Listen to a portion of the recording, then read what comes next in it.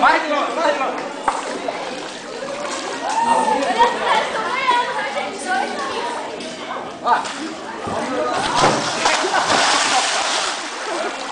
Vocês são uma bomba, menino. Bora, tava perturbando agora, não vai entrar não? Vai tu agora. Pode Disney, né, cara.